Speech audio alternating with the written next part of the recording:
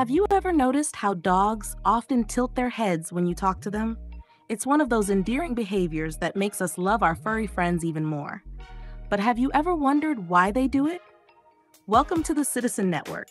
Today, we're going to dive into the science and reasons behind this cute habit. First, let's talk about hearing. Dogs have an incredible sense of hearing, far superior to ours.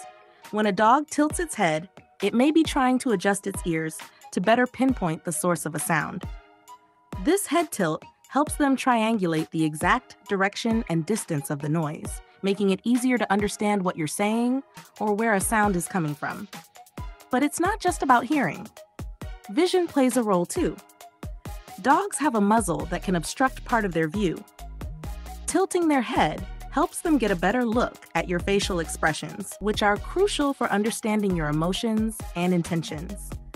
By tilting their head, they can see more of your face and read your expressions more accurately. Another factor is communication. Dogs are highly social animals and they pay close attention to human behavior. When a dog tilts its head, it might be a sign that they are engaged in trying to understand you.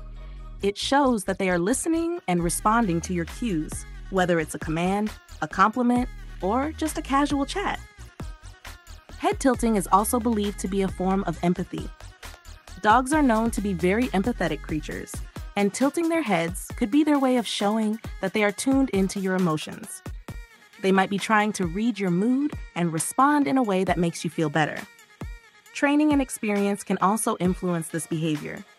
Some dogs may have learned that tilting their heads gets them positive attention or rewards from their owners. Over time, they might do it more often because they've associated it with positive outcomes. In conclusion, head tilting in dogs is a multifaceted behavior influenced by their acute hearing, need for visual clarity, social nature, empathy, and learned experiences.